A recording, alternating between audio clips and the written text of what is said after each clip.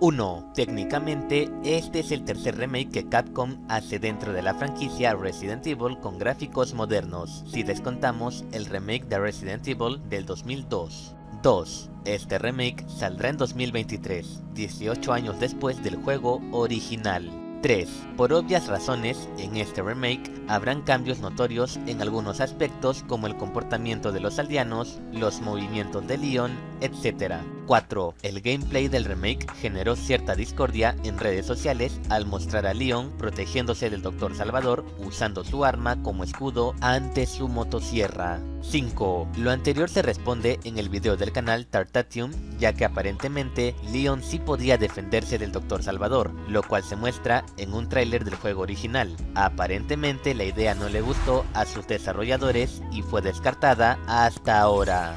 6. Tal y como se vio en el tráiler y gameplay, este remake será un poco más gráfico que el juego original.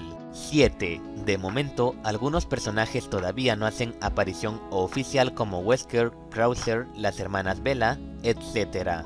8. Aparentemente, el remake no contará con las historias de Separate Ways, Assignment Ada o The Mercenaries. Digo aparentemente porque esto es solo una suposición, en base a la ausencia de escenas o códigos relacionados a estas historias en todo lo que se filtró del juego. 9. Al igual que sus antecesores, este remake tendrá nuevas subtramas y ligeros cambios en comparación a su versión original.